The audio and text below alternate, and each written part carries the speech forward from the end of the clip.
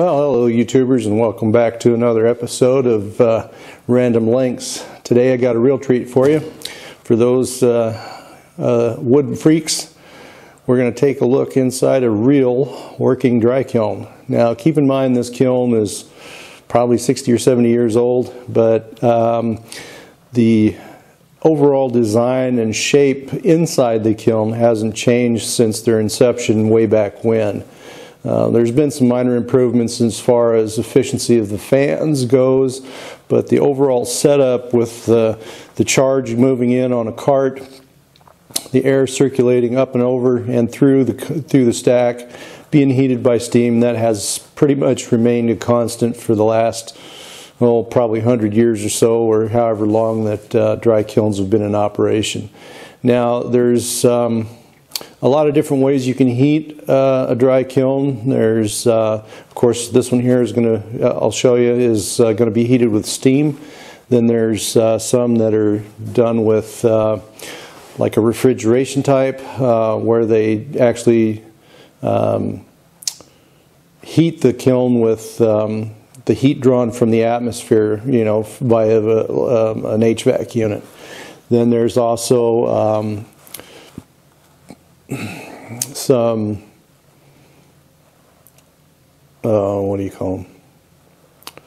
There's freeze dry units as well uh, that use sublimation as uh, one of their drying methods. Those, are, however, small batches and uh, usually don't uh, have, they're, they're not real efficient.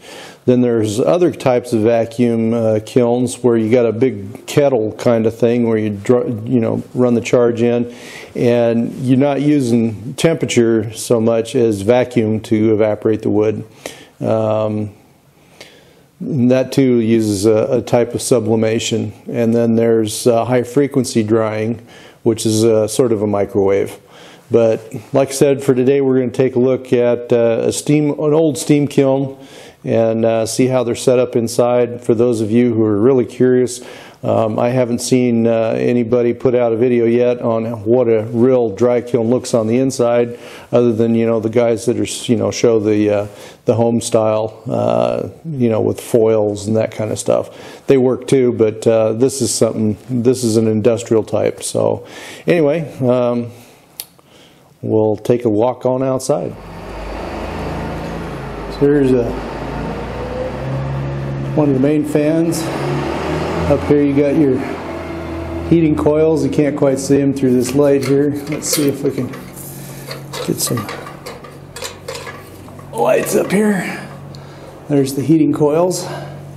Now these fans pull the air through the unit and this wall is designed left and right to guide the air over the top in a counterclockwise motion through the stack of lumber back into the fan. And here's the tracks that lead outside. Now up here you have an exhaust port which allows the uh, laden, the moisture laden air out. And over here we have an inlet that pulls the uh, fresh air into the kiln and uh, thereby lowering the relative humidity. Here's a charge ready to go in. Now the charge is never higher than the door here, of course. And there is, you can't really see this. Let me see if we can.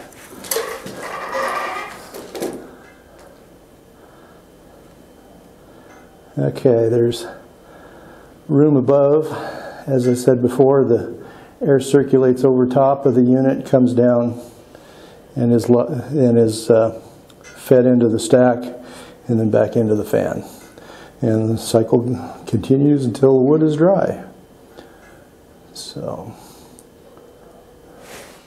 well, as you may have noticed, uh, looking through the dry kiln, you noticed that the the walls were covered in like asphalt, and the reason being for that is uh, when the wood first goes into the dry kiln, you know, it's wet and uh, you, you, you, put in a lot of steam in order to open up the pores in some woods and then also to create uh, an equalization effect where the outside of the board is as wet as the inside and that way the water as it escapes the, the wood uh, will come out a little easier as the uh, the uh, relative humidity is lowered and the drying process is advanced.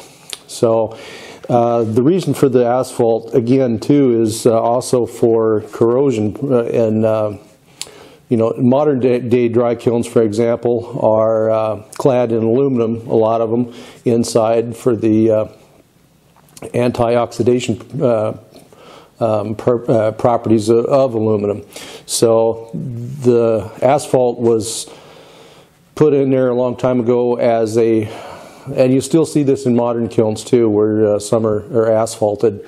Um, the volatile organic compounds, the VOCs in the wood, will attack the uh, the interior of the kiln and eventually eat it up and uh, deteriorate it to the point where they're no longer usable. Uh, steel will rust away within a matter of two to three years.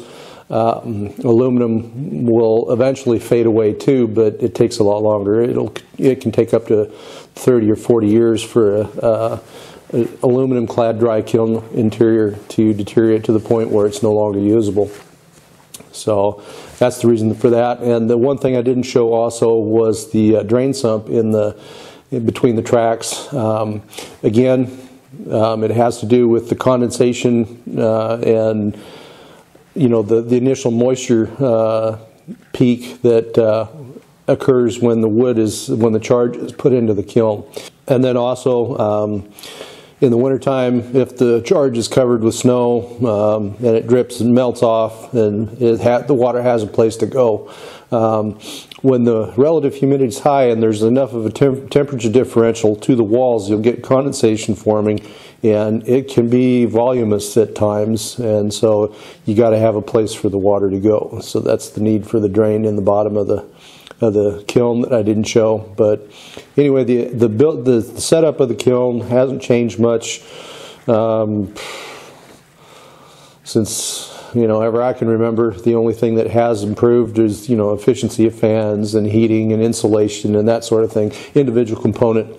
Uh, but the overall setup of the things has remained pretty constant over the last probably 100 years or so, maybe maybe longer.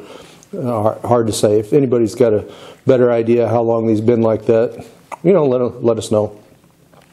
Anyway, hope you guys uh, enjoyed today's episode of Random Lengths and uh, hope to see you again soon.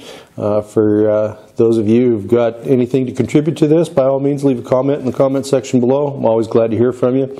And uh, for those of you who give me a thumbs down, um, if there's something about the, the videos you don't like, by all means, let me know. Um, I'm always looking to improve, and if I'm just getting a thumbs down, I don't know what it is that uh, might need improving uh, to suit you know the, the overall viewing pleasure of the video a little better.